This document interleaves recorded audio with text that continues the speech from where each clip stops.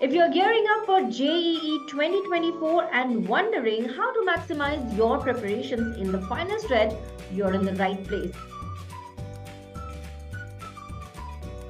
mindset only that first we set our goal that how much marks are practically possible. You see, we should not have any goal which is very hypothetically. We, we should not think that from here from 100 marks we can reach to 250 marks. So first part is the goal set. So our mind should be very clear that how much marks I can target during this one month. Now you see, different students may have different level at this time. They may have different type of preparation some of them may be having, having the first attempt of uh, difficult exam, you can say in the month of Jan. They are also having one more chance in Tapre, then they are also having the chance for JEE Advanced. So some of them can target 250 marks, some of them can target 200 marks, some of them can target 150 marks. So the mindset is that how much marks is possible. The second, how it is possible. So that mindset should be in the positive mind frame that how much effort I can make not that uh, tension that uh, these marks are possible or not possible. Once you set your target, then you should think how that marks are possible and that how will give you the answer that what you should do and what you should not do. That what are the syllabus of different subjects, physics, chemistry, and mathematics. Then you analyze what you have done, and then you appear one, two, three papers and you see your performance in different subjects. Analyze your performance topic wise, sector wise. Then divide these topics in two, three, four categories. Like you know that, like suppose in chemistry, if you are having 25 chapters, you might getting 100% marks, 90% marks in some of the topics. So you know that these topics are your strong area. So now you need not to worry about these topics.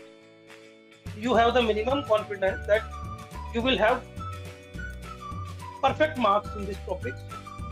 Now the remaining topics, like suppose out of 25 topics, 10 topics are there where you can get the 100% marks. Now think about remaining 15 topics.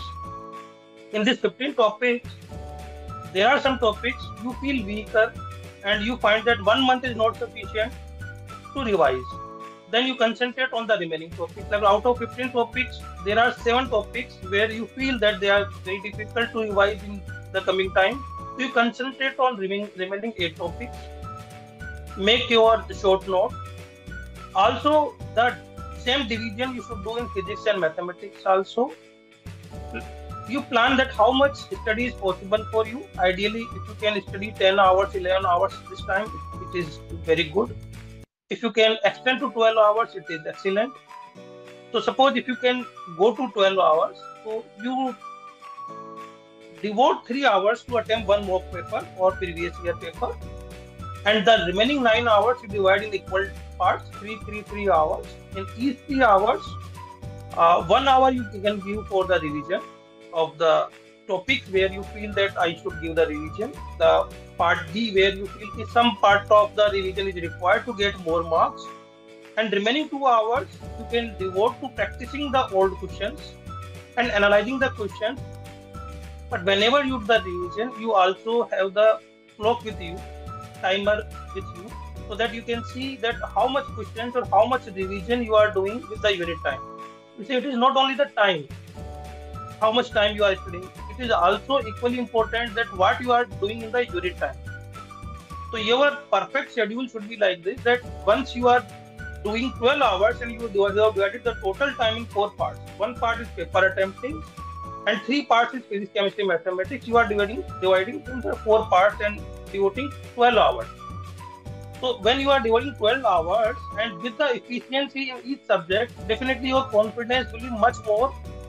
Normally what we do we take one subject in a day and we try to do one subject in a four time of the day.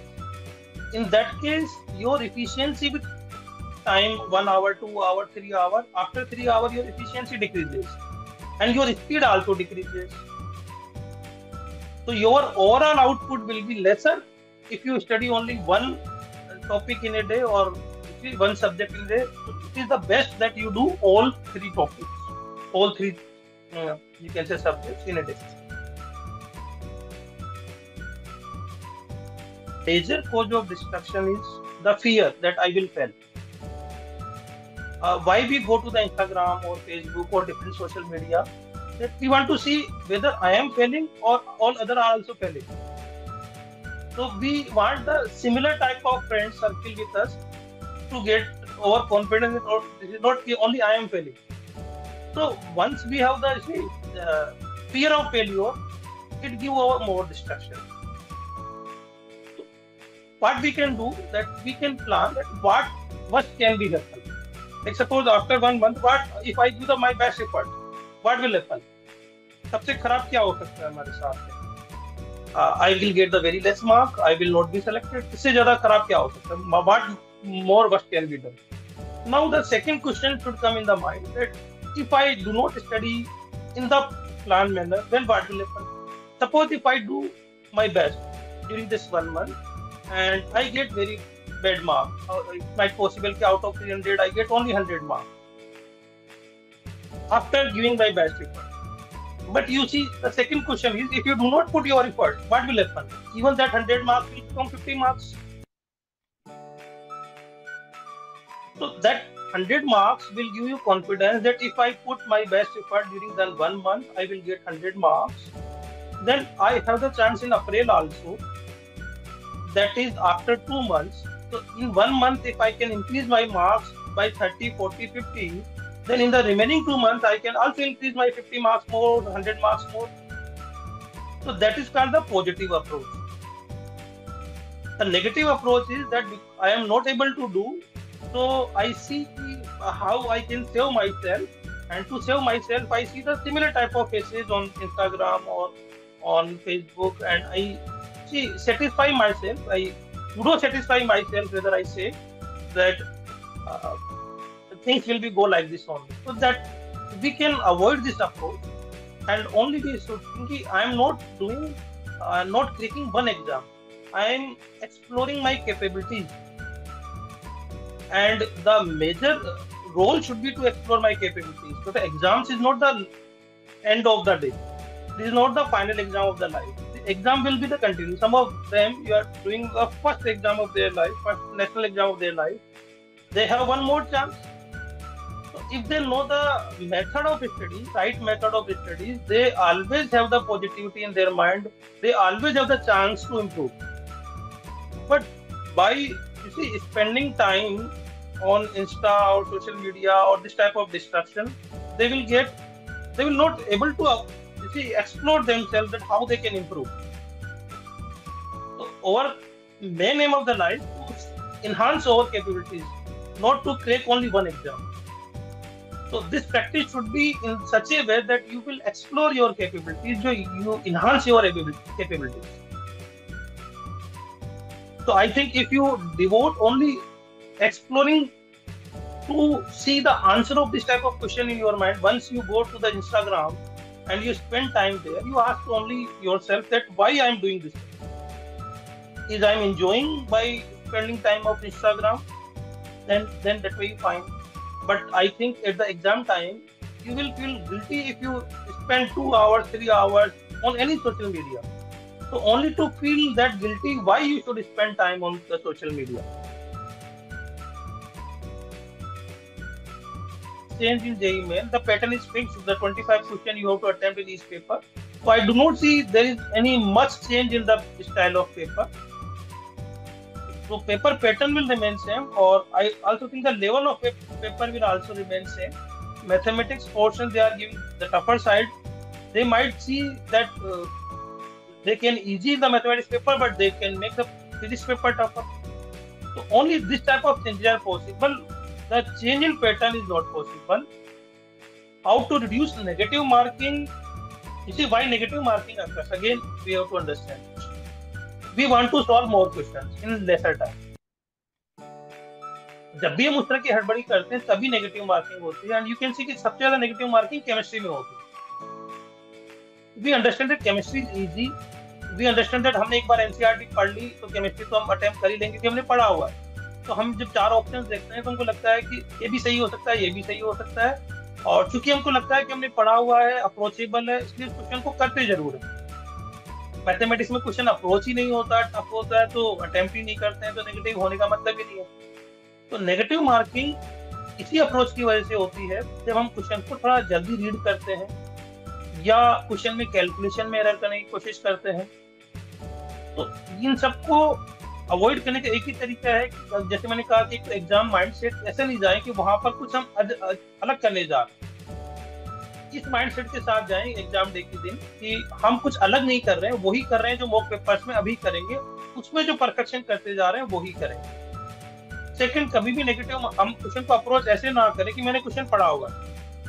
हम उसको exclude करने की कोशिश करें, और अगर हमें ये लगता है कि आउट ऑफ़ फोर ऑप्शन दो ऑप्शन ऐसे हैं जो नहीं हो सकते, और मुझे दो ही ऑप्शन में चांसेस लेने हैं, तभी उस क्वेश्चन को अटेम्प्ट करें, क्योंकि वहाँ पर आपके पास में रिस्क फिफ्टी परसेंट का है। अगर आप कुछ भी नहीं आता क्वेश्चन का और केवल इसलिए कर रहे हैं कि कभी आपने वो क्वेश्चन पढ़ा हुआ है तो you are taking seventy five percent risk fifty percent risk में ये है कि यू डन फोर क्वेश्चन हो सकता है कि दो क्वेश्चन आपके सही भी हो जाए, तब भी पॉजिटिव मार्किंग आपकी ज़्यादा होगी। In some question you can also have the approach कि आपके पास में आपको ये नहीं पता कि राइट क्वेश्चन कौन सा है राइट आंसर कौन सा है, पर आपको ये पता है कि remaining three answers can not be the answer तो ये एक नेगेटिव अप्रोच है जो आपको रखनी चाहिए। With my experience I can tell you that some students have this approach also, and they have successful they get the successful marks in this direction. ये approach भी अच्छा है कि हमें राइट आंसर नहीं पता, पर हमें पता है कि तीन गलत आंसर कौन से हैं, और सिंगल क्वेश्चन आंसर है। अगर ऐसा अप्रोच हमारे दस परसेंट क्वेश्चन में भी लग गया तो योर टेन परसेंट मार्क्स में इंक्रीज तो नेगेटिव मार्किंग को ऐसे लीजिए आप कि वहाँ नेगेटिव मार्किंग करिए, जहाँ पर आपको कुछ पता है, जहाँ पे आपको कुछ भी नहीं पता, उन क्वेश्चन को सॉल्व करने की कोशिश मत करिए। एग्ज़ाम में ज़्यादा क्वेश्चन सॉल्व मत करने की कोशिश करिए। मॉक पेपर देना इसीलिए ज़रूरी है, ताकि आपको आइडिया लग सके कि आपको फिजिक्स में कितने क्वेश्चन करने हैं केमिस्ट्री में कितने क्वेश्चन करने हैं मैथ्स में कितने क्वेश्चन करने हैं।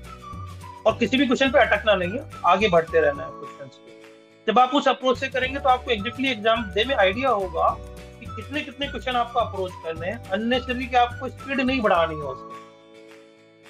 एक चीज़ और ध्यान रखें क्वेश्चन है आई वांट आपने क्वेश्चन नहीं किया, पर मैं थोड़ा बताना चाहूँगी जितने भी ये जेई के सेंटर्स आते हैं सीबीटी सेंटर्स आते हैं, ये थोड़ा सा रिमोट एरियाज़ पे होते हैं। कई बार गूगल भी फेल हो जाता है to identify the CBT centre तो इट इज़ एडवाइजेबल कि या तो आप एक दिन या दो दिन पहले उन सेंटर्स को एक बार देख लें कि वो कहाँ पर हैं। अगर वो प्रैक्टिकली आपके लिए पॉसिबल नहीं है तो आप at least three two four hour पहले आप घर से निकलिए। ताकि बाई चांस गूगल फेल हो गया और आप नहीं पहुँच पाए वहाँ पर तो आपके पास एक्स्ट्रा टाइम हो। क्योंकि एग्ज़ाम टाइम पे फिर टेंशन क्रिएट होती है और अगर आप लास्ट मोमेंट पे प्रेशर क्रिएट होता है टेंशन क्रिएट होती है तो उसका इम्पैक्ट फिर आपको पेपर पे भी पड़ता है उसको अवॉइड करने के लिए बेस्ट तो ये है कि आप एक दो दिन पहले खुद देख लें या अपने फैमिली में किसी को भेज कर देख लें। या फिर आप जो है ना एग्ज़ाम डेट पे बिफोर टाइम लिखें